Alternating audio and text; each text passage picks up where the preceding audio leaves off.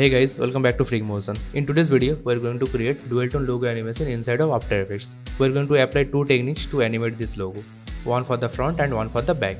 And everything will be inside of After Effects. So without wasting any more time, let's jump into the After Effects and let's get started. Alright, I already created a composition with default settings.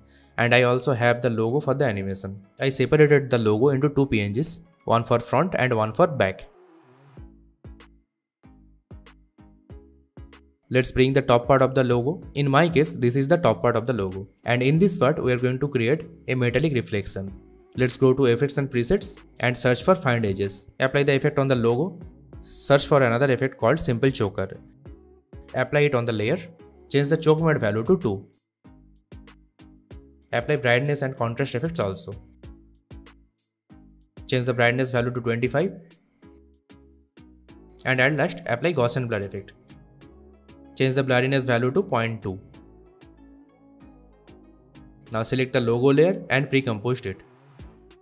Let's call it logo white. Make sure to check move all attributes. Now we have the reflection map that we are going to use in the logo animation.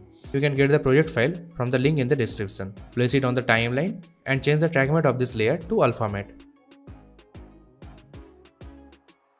Now on the reflection map, add an effect called CC Glass. Open surface and change the bump map to logo layer. Change the softness value to 50, height value to 100 and displacement value to minus 150. Open light option and change the light type to point light and change the light height to 100. On the reflection map, add another effect called CC Blobulize. Change the blob layer to logo layer and change the softness value to 15 and cut away value to 45 and if you want to change the color of the reflection you can apply tritone effect on it. And you can change the colors from here easily.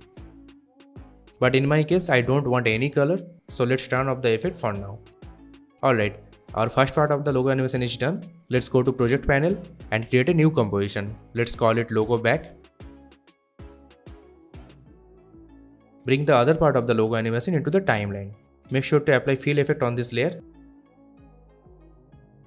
and change its color to white. Then create a solid layer. Let's name it wipe. And apply linear wipe effect on the solid layer.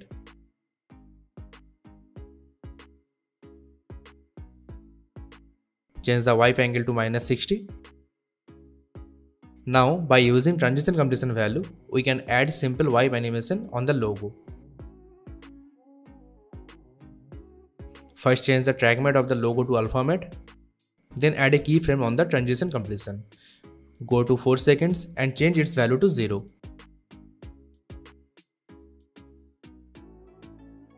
Let's change the starting value to 85%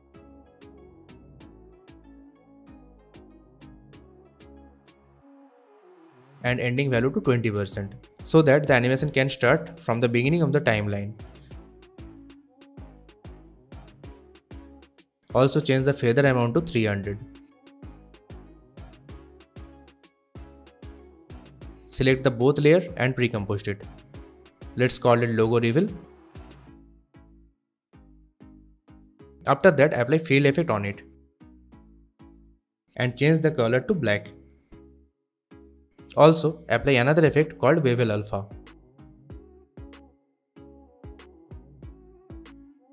Change the edge thickness value to 4 and change the light intensity value to 1. On the first frame, add a keyframe on the light angle and after 4 seconds change its value to 1. That's been one complete cycle. Now make two copies of the composition by pressing Ctrl plus D and apply Gaussian blur effect on the both top layers.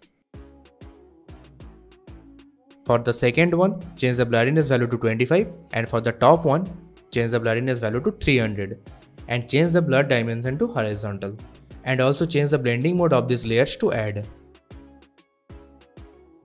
Let's change the composition background color to black so that we can see the lines properly and if you want to add more glow on these lines you can make composition of these layers again. Let's call it logo outline.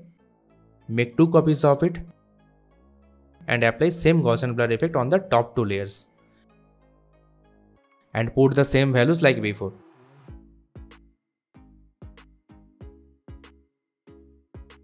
Also change the blending mode to add. Our second part of the logo animation is done. Now it's time to merge all this composition properly. For that, let's create a new composition and let's call it final render. Now bring logo front composition and logo back composition. Also bring logo reveal composition on the timeline. You can add fill effect on the logo reveal composition to change the color of the logo. Choose a color of your choice and place it on the top of the logo back composition. Then offset all the composition by 2 seconds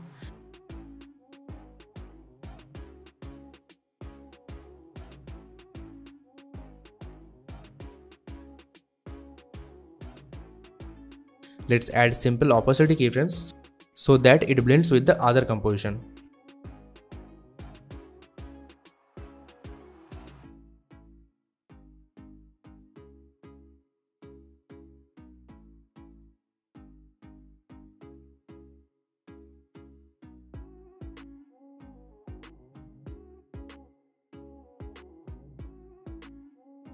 You can hide the outline rays just by using opacity keyframes on the logo back composition.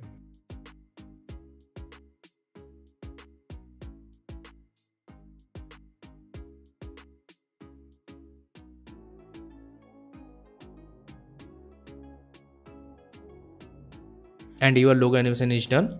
Just add some cinematic backgrounds and you are good to go. So that's all for today I hope you liked the video. Thanks for watching. See you guys in the next video. Till then have fun and stay safe.